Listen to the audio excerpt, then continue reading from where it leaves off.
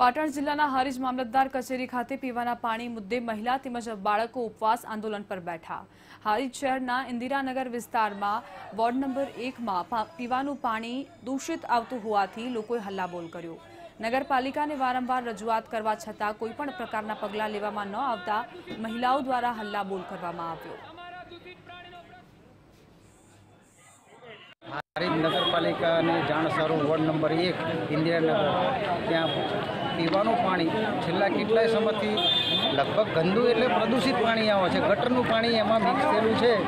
એ લોકોને વારંવાર અમે અરજીઓ દ્વારા જાણ કરી, એ લોકોના રૂબરૂ મુલાકાત લીધી. આજે મામલતદાર સાહેબને આવેદનપત્ર આપ્યું છે.